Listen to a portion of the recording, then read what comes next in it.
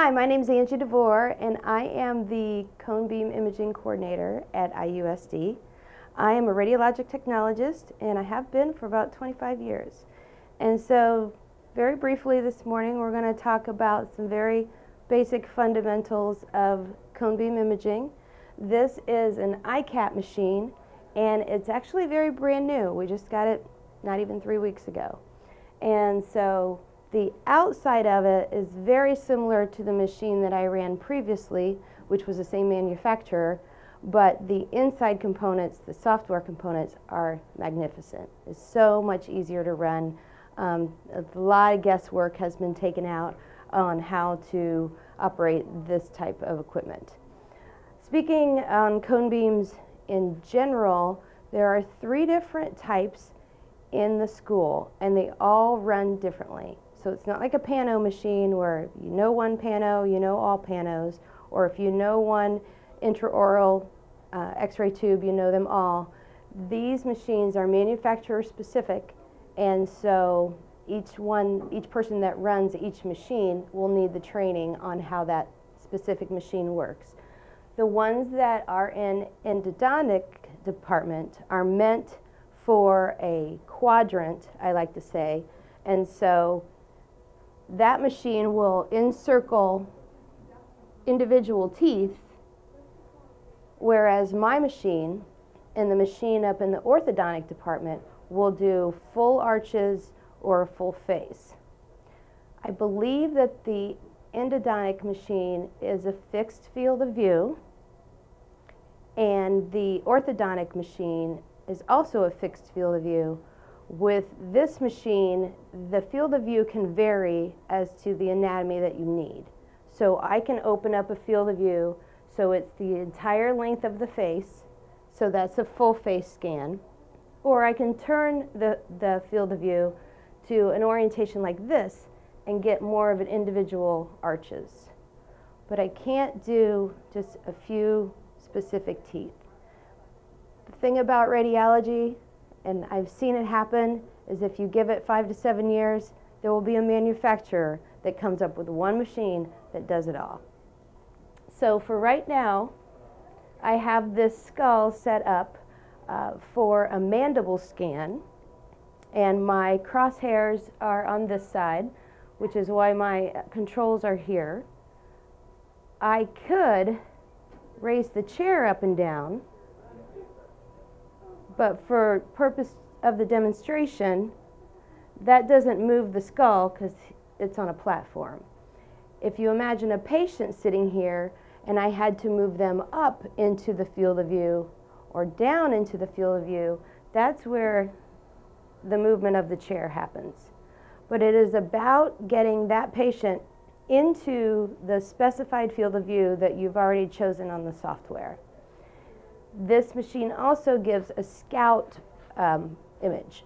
and what that is meant to do is you know exactly where you're scanning before you hit the button to make that 26.9 second scan. All of the scans that I do on this new machine are that length of time. The longer that the scan is on, here comes some nerdy science, okay? The longer that your scan is on, the more X-ray photons are being produced at the target of your, of your X-ray tube. So therefore, the more, more X-ray photons are coming out, more X-ray photons are interacting with the anatomy of the patient, and then more X-ray photons are exiting the patient and, go, and being um, captured by the volume center. So if you have a scan that's only seven seconds long, versus a scan that's 25 seconds long, the 25 second scan is going to resolve better. It's going to show better resolution, sharpness of detail, uh, cortical bone versus trabecular bone. A seven second scan is more meant for a quick shot identification of maybe where a tooth is not the kind of resolution that is needed for implant placement, and certainly not the kind of resolution that is needed for orthognathic surgery workups, which are the lion's share of the patients that I do.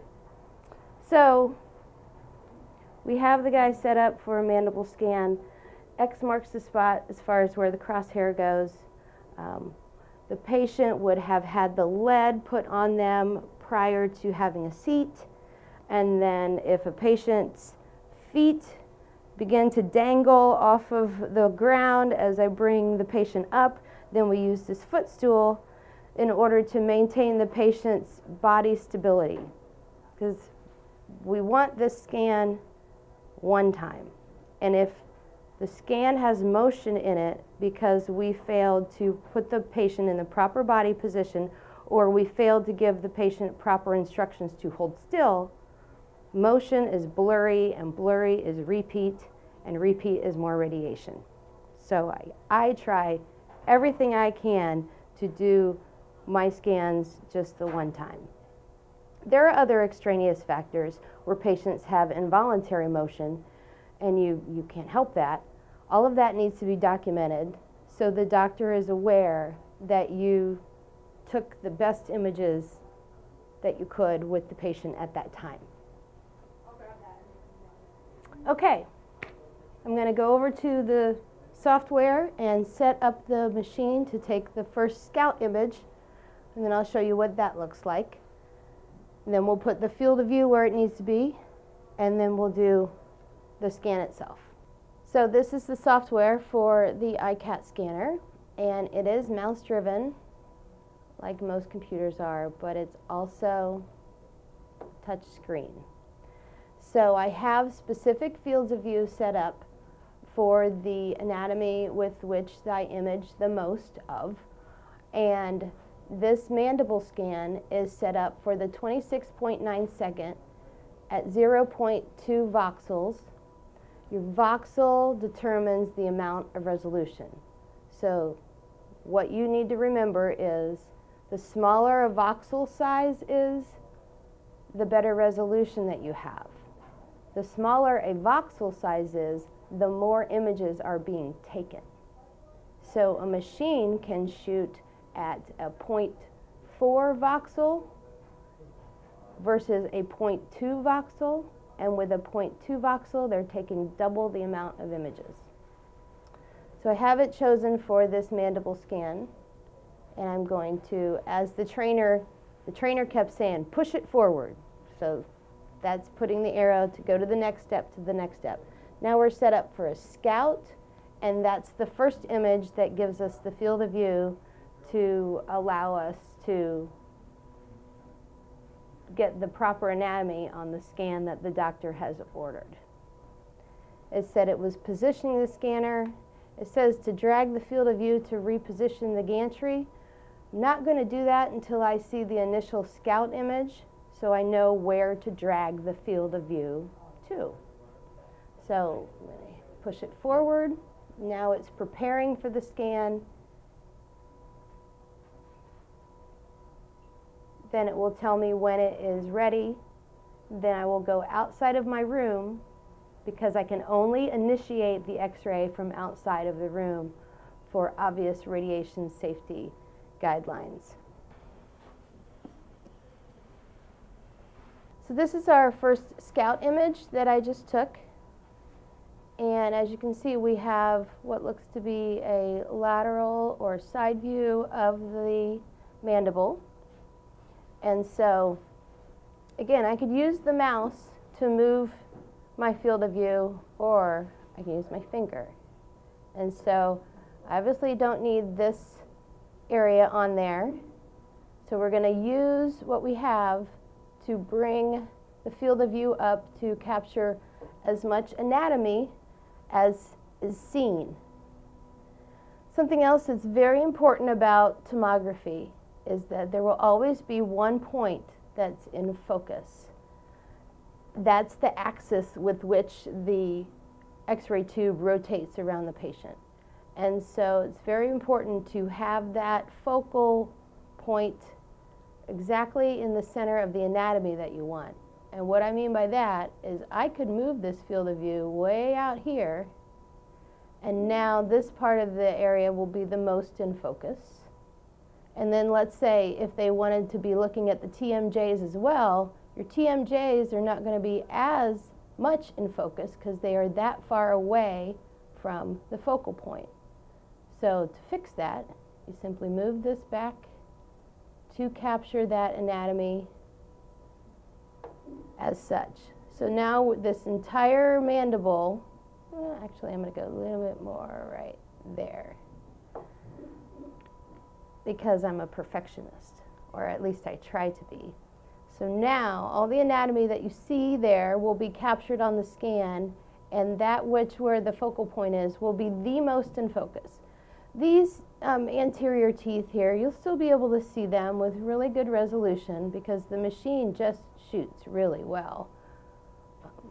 And we'll also be able to see the TMJs with equal resolution even though they are technically further away from um, the focal point.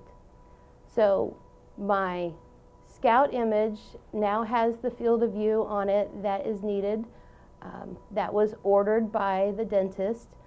Radiation is like medication. I cannot dispense it without a prescription, so I need a doctor's order. I need the doctor's referral. So pushing that forward, now it's preparing for the scan itself. I tell several things to the patient um, especially along the lines of how the machine is going to revolve around them and then go back to start. I'm constantly emphasizing the importance to hold still.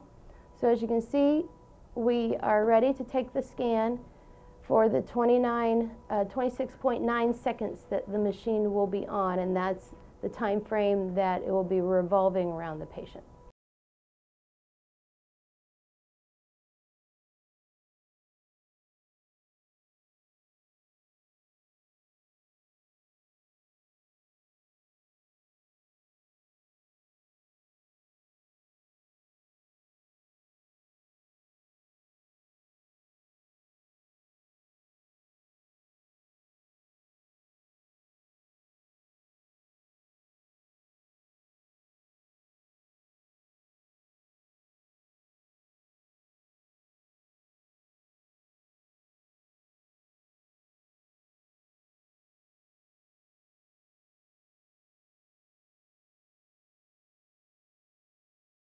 So now, it just took about 400 images of the mandible, and the system is reconstructing those into the axial, the coronal, and the sagittal images that make up the three dimensions of the patient, that make up why this is known as 3D um, dental CT. And so, as quickly as that, it has produced a volume of the mandible, and then this is our axial image. Now I'm going to go back to um, using my mouse at this point. I usually only use the touch screen to move the um, field of view around. I mean, I could use the, my finger here. But just as far as looking at the anatomy, I feel as though I get a little bit better control of what I'm looking at when I grab the mouse and go a little bit more slowly. So we're seeing this axial image is the patient is, shall we say, sliced into top and bottom halves. And so this is from top to bottom, as you can see here, going, that would be their uh, maxilla right about there, and then there's some of their teeth, and then coming on down through the mandible definitely have all of the mandible on there. If I was imaging this patient for a maxilla scan, I would have positioned higher, so I would have all of the sinuses on there. It's important for them when we're doing implants to know where the sinuses lie in relation to the um, maxilla. We can also see a coronal image now in addition. So these lines now correspond with each other. So coronally, if I pull this one, now I'm going to start to see this patient from, coronal slices are from uh, front to back. So teeth, and then going, there's, would be their TMJs right about there. Oh, wait, I'm sorry. TMJs are right there.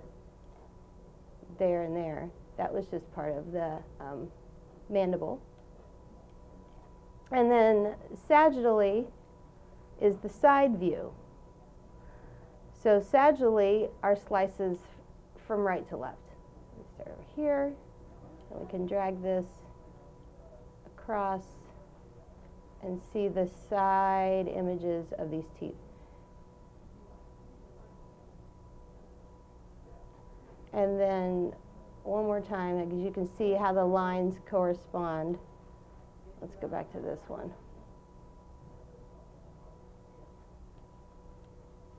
We would be right there on their maxilla, and we could be able to see that coronally and axially as these lines um, correspond with each other. From this point, these DICOM images are pushed forward, sent out of the scanner into another um, archive. From that archive, I upload them to my PACS and I save them on the shared drive that is part of my department in the Department of Oral Pathology, um, Medicine, and Radiology. That is technically who I belong to um, in this school.